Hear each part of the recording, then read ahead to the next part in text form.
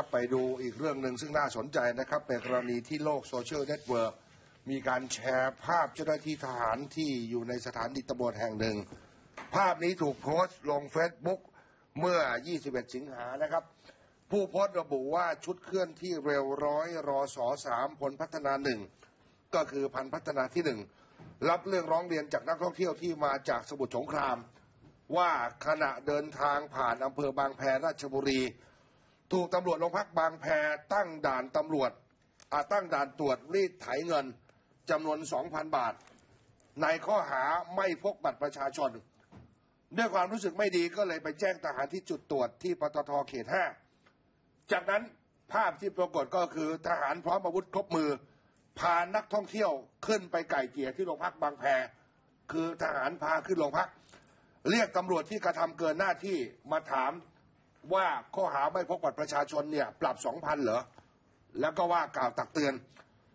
โดยยืนการให้คืนเงินให้นักท่องเที่ยวสองพันบาท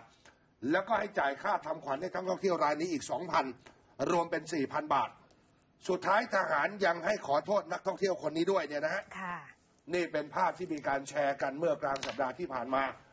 คือถูกเรียกตรวจอืมไม่พกบัตร เอาเงินไปสองพันค่ะ ปรากฏว่าไปแจ้งทหารทหารพาขึ้นโรงพัก บอกเลยนะฮะว่าผิดยังไง เกินกว่าเหตุไหม คืนเข้าไปสองพันจ่ายค่าทำขวัญเขาด้วยสองพันและขอโทษเขาด้วยค่ะ